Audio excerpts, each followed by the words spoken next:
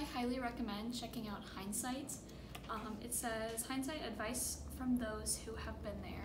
I was gifted this book right before I went to college, um, and it has 60 devotions in it that prepare you for a lot of the topics that you might experience, whether or not you're going to college or starting a career, or even going into the military. Um, the topics in here are very universal and it prepares you for some of the things that you might be facing. Um, and just gives you really great Christian advice. So I highly recommend.